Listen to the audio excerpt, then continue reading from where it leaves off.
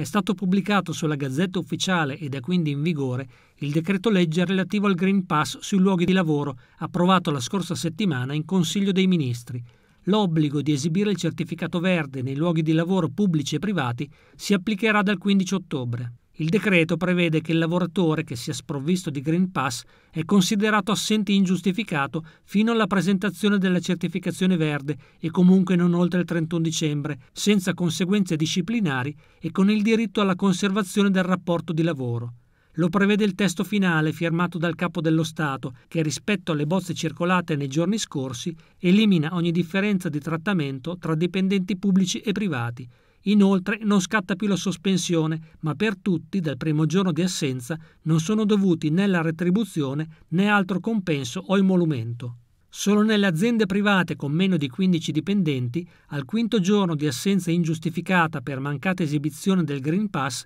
il datore di lavoro può sospendere il lavoratore e sostituirlo, stipulando un contratto di sostituzione di durata non superiore a 10 giorni e rinnovabile solo una volta. Dal 15 ottobre arriva l'obbligo di Green Pass anche nelle aule dei tribunali, ma solo per i magistrati, restano esclusi avvocati e testimoni.